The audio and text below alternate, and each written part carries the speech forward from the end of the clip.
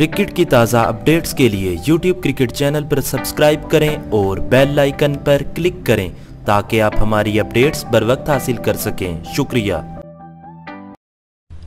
میں ہوں YouTube cricket. Pakistan team کے مایا ناز آل راؤنڈر پروفیسر حفیظ نے پاکستانی نوجوانوں کو ایک ایسا راز بتا دیا ہے جس پر عمل کر کے وہ پاکستان ٹیم کی نمائندگی کر سکتے ہیں۔ پروفیسر نے نوجوانوں کو کیا مشورہ دیا؟ جانیے ہماری اس رپورٹ میں۔ کرکٹ پاکستانیوں کے خون میں ہے اور پاکستان کے بغیر بین الاقوامی کرکٹ ادھوری ہے۔ پاکستان نے آج تک بہت سے ایسے لیجنڈ پیدا کیے جنہوں نے اپنی کارکردگی کے لیے نہ صرف اپنا نوحہ بنوایا بلکہ پاکستان کا نام بھی روشن کیا۔ بہت سے پاکستانی نوجوان کرکٹ تو اچھی کھیلتے ہیں اور پاکستان کی نمائندگی کرنے کا خواب بھی دیکھتے ہیں۔ مگر وہ نہیں جانتے کہ انہیں اپنی منزل تک پہنچنے کے لیے کس راستے پر چلنا چاہیے۔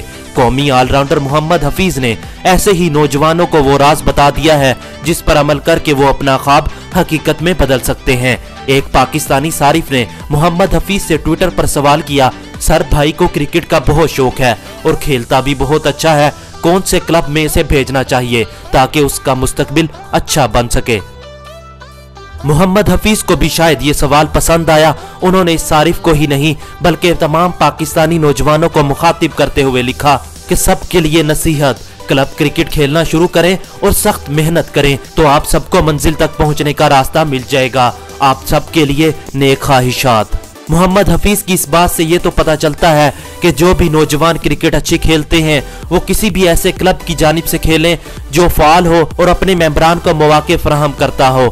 اگر کلب کرکٹ میں اچھی کارکردگی کا مظاہرہ کیا تو آگے جانے میں کوئی مشکل پیش نہیں آئے گی۔